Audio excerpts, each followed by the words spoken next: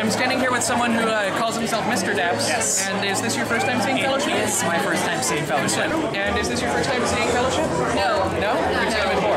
Second. Second time. His first. Your first? Yeah. I've seen the show seven times at three different venues. I've been following them since the very beginning, and um, I love the show. Every time they perform, I've seen them several times. This is your opening night then, huh? This is our opening night. Okay, is there something you're most looking forward to about tonight? Um, I'm looking forward uh, to getting through it. Let's see how how this thing this thing this thing works out. I want to say that it gets you know easier every well it gets it's always exciting.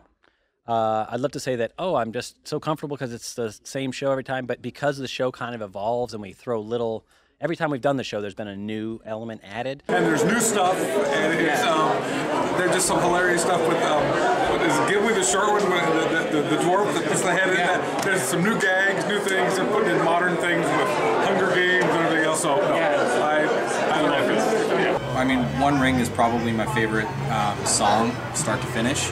Um, you can't not love the you know guitar solo. Well, my favorite part's uh, definitely uh, when the Balrog comes out. Oh yeah, Balrog. Balrog. The Balrog and his shoes. Oh my gosh, uh, the Balrog dance. Balrog. Balrog. Sorry. I also love how we have attempted to do the major special effects.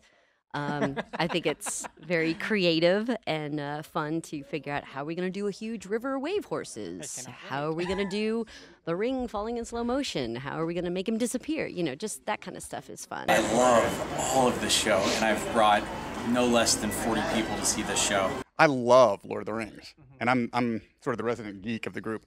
Um, not that we're not all geeks about something, but um, so to get a chance to come in here and you know poke fun at a few things like why didn't they take the Eagles to Mordor? You know stuff like that. It's just it's just kind of fun, and, and you can only do that really honestly from a place of love in the first place. You know, otherwise it would feel mean. Right.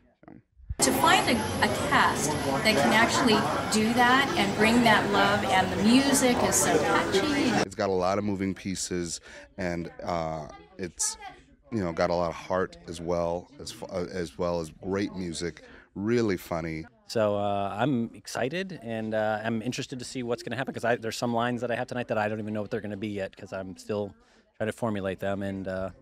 Uh, 'cause I also do the puppet show at some point in the show. I'm, I'm Elrond behind things, so we love, we love puppets. a lot of uh, you know interesting new stuff may come out or it could die. So either way, it's going to be exciting. It'll be great. We're, yeah, it's It's one of my favorite things to do in the world, and, and creatively, it's probably the thing I'm most proud of ever being a part of. I just can't wait. I'm so glad that they're here. I actually brought them. So uh, What did- a what did you welcome. bring 'em? A welcome back. Welcome back, Kate. Yes. What's not to look forward to? That's what I've been It's Lord of the Rings, it's Hobbits, it's musical, it's comedy, and it's improv. That is five things, by the way. That is. And they're my favorite five Literally, things. how could you do any better than that? I don't it's think a you could. perfect mix of geekdom and fantasy, and it's going to be amazing. It absolutely is. And I think it's starting in about five minutes, so we should probably get going. And uh, we'll see you at intermission. Sure?